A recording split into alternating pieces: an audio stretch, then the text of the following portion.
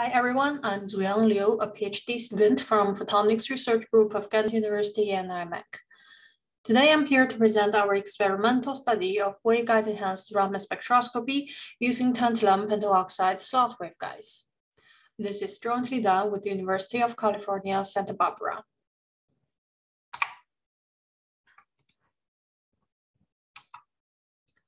The first important question is, why are we interested in Raman spectroscopy? Here we have a molecule to be measured, and in this case, ethanol. There is a monochromatic pump running towards it. In the scattered light, some photons will have a frequency shift as they have interacted with the molecule's vibrational modes.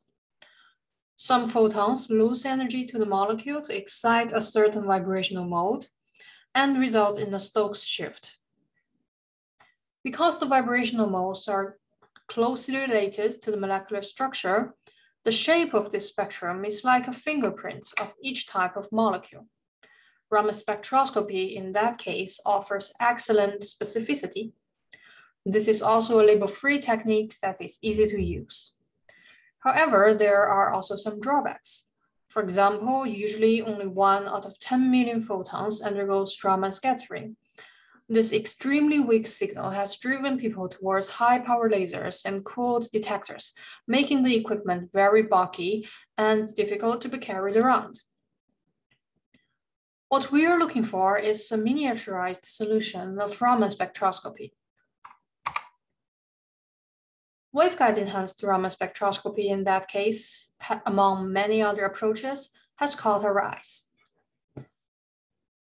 basically, we need a photonic waveguide, which is covered with a bulk analyte. Could be liquid, could be gas. The excited mode in the waveguide will have evanescent field in the cladding. The evanescent field in the top cladding interacts with analyte molecules, excites the Raman signal, and couples it back to the waveguide. Then we can collect the Raman signal from both ends of the waveguide. It has already been proved that with this tight confinement of light and extended interaction volume, only several millimeters of silicon nitride waveguide can already outperform the conventional confocal Raman microscope. We can also integrate this extended waveguide with other on-chip components, such as on-chip spectrometers and filters. Then we can realize an integrated Raman sensor that is sensitive, compact, cost-efficient, and even disposable that opens the gate to many possible applications. One important factor in waveguide enhanced Raman spectroscopy is the waveguide platform. Currently, we're using silicon nitride, but we're also looking into several other platforms. In this previous study in our group, we have looked into four different platforms, including alumina, nitride, tantalum, and titania. In general, for evanescent sensing, higher index contrast means stronger signal because there is stronger evanescent field. In that sense, titania has the highest refractive index. But there is another factor in the play, the Raman background. This Raman spectra you're looking at are obtained with four different waveguides made of these different materials. With air cladding, no analyte on top, so the spectral features you're seeing come from the waveguide material themselves and are intrinsic to it. Unfortunately, as you can see from this black line here, titania has a huge Raman background that strongly limits its potential of detection limit. So we turn to the second highest index, tantalum. You can see from the green line here, despite of this signature peak, it is comparable to silicon nitride, especially above 1000 nanometer centimeter.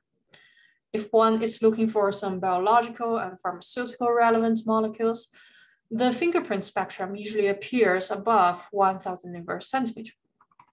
Therefore, with high index contrast and low Raman background, tantalum became very interesting for us. Another key role in the play is the waveguide geometry.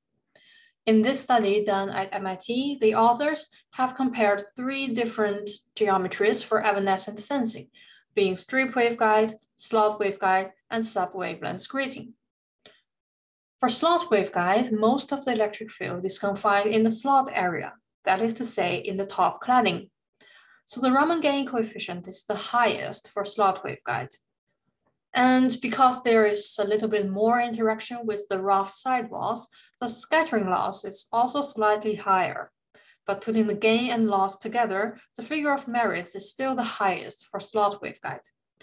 These numbers were computed for SOI waveguides, but the conclusion applies to other platforms as well. So putting Tantala and slot waveguides together, we designed some waveguides. And here is the electric field distribution simulated on a cross section of such a waveguide. We designed the head to be 400 nanometer. In principle, higher slot waveguide means stronger signal, but in practice, the thickness of Tantala layer is limited, usually by stress. And 400 nanometer is the highest available for us. Then we get some waveguides fabricated together with UCSB. They have successfully demonstrated low loss Tantala strip waveguides already, and here's a new technical challenge for them. This is the SEM picture on one of the waveguides. The yellowish part is Tantala and the bluish part is oxide. You can see there's quite some overetching into the oxide because of this very narrow slot. In this picture, the slot width is about 67 nanometer, making the anisotropic etching inside the slot a bit more difficult than outside. So if we want this nice slope inside the slot, this overetching became inevitable.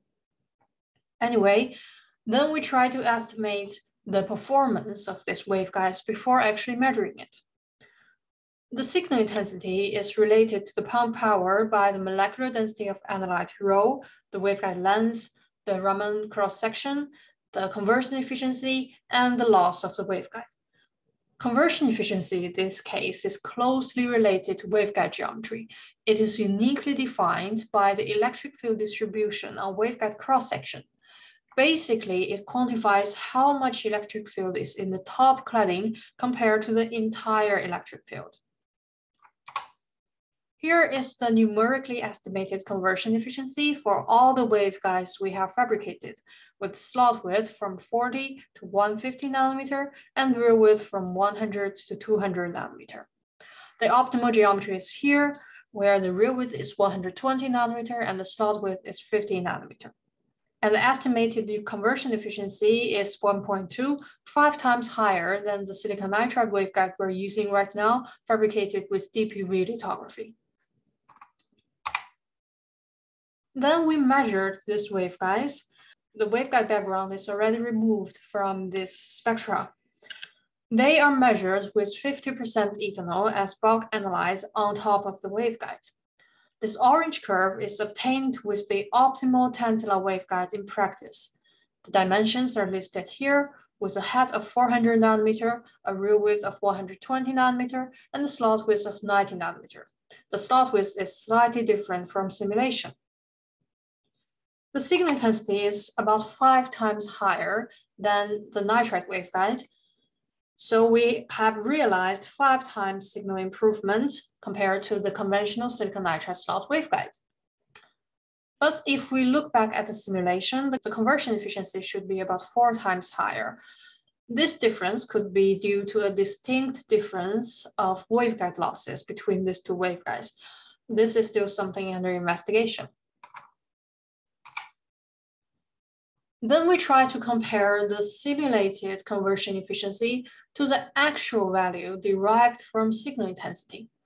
If there is a good agreement between the simulation and the measurement, it means we can directly estimate the signal intensity before fabrication, even without comparing to a reference, like in the previous slide to a nitride waveguide. To derive the conversion efficiency from signal intensity, we need to know the pump power, the uh, molecular density of analyte, the waveguide length, the Raman cross-section, and the total loss of the waveguide. The total loss of the waveguide usually can be measured in transmission, but this high aspect ratio uncladded waveguides became gradually damaged during the extensive measurement, up to a point where it cannot be measured in the initial condition anymore. So we then turned to simulation. We numerically estimated the loss of the waveguide from the sidewall roughness and estimate the coupling loss from experience. Using this numerically estimated loss, we tried to compare the conversion efficiency of all the waveguides in this parameter space.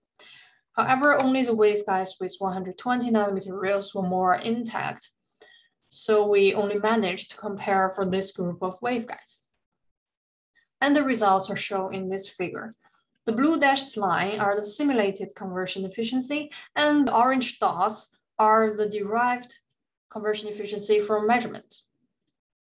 You can see that the high values of the measured conversion efficiency roughly follows the simulation and follows the tendency, but there are also some low points that could be due to an underestimation of loss. That is to say, um, these waveguides were probably a little bit damaged when measuring the Raman signal. So the signal was not as high as in the perfect condition, but then we estimated the loss in the perfect condition, which is lower than actual values. Anyway, there is still some matching between the simulation and measurement, and we are working a new sample together with UCSB to further explore the potential of Tantala to confirm the signal enhancement, and to make a better estimation of losses.